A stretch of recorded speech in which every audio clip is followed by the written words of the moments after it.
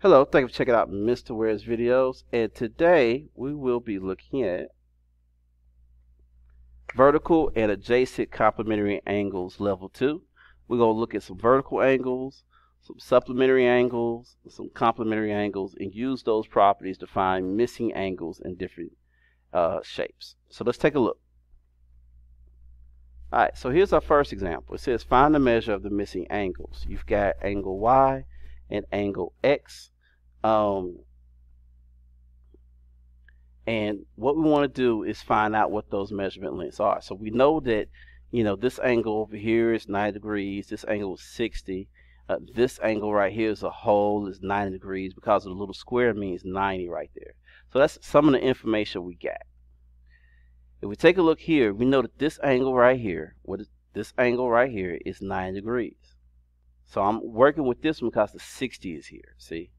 And that's 90. So I know that this x plus this 60 added together is going to equal 90.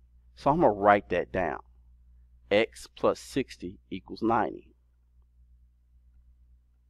Now that I know that, I can subtract 60 on both sides and end up with the 60s canceling out. 90 minus 60 is 30. So I know that this is 30 degrees here.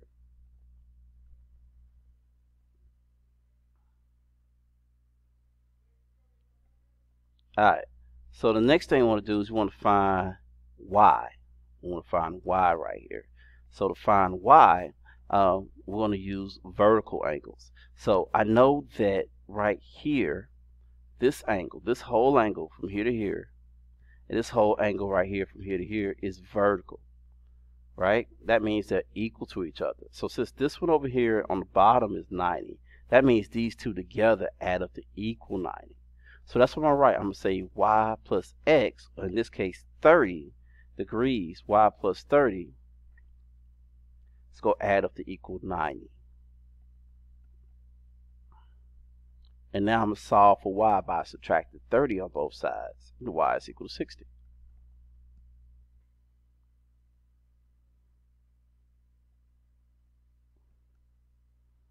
Alright, let's take a look at another example.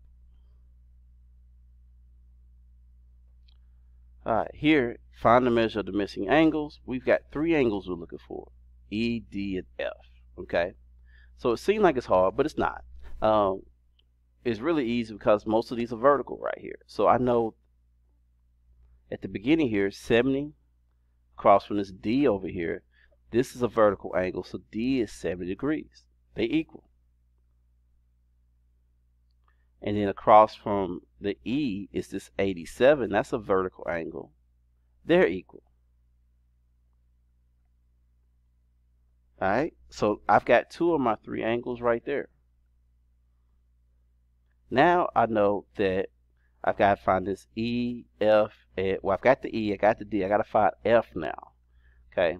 Now I have a vertical angle across from it but I don't have the measurement for it. So what I can do is do this. This angle here, E plus F plus D, adds up to equal 180 because of the line. See the straight line right here? So from E to F to D, that's 180 degrees.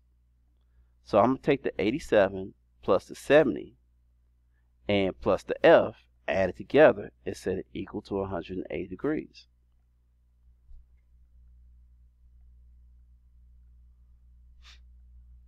Now I'm going to take the 87 and 70 and add them together. I get 157. Subtract 157 on both sides. And you get F is equal to 23.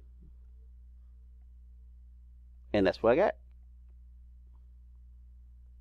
So, you know, each problem is going to be a little different. You got to kind of figure out and based off of properties what's true and what's not true. But just take your time, go step by step, and solve each angle. And that's it. And I want to thank you for checking out Mr. Ware's videos. Have a nice day.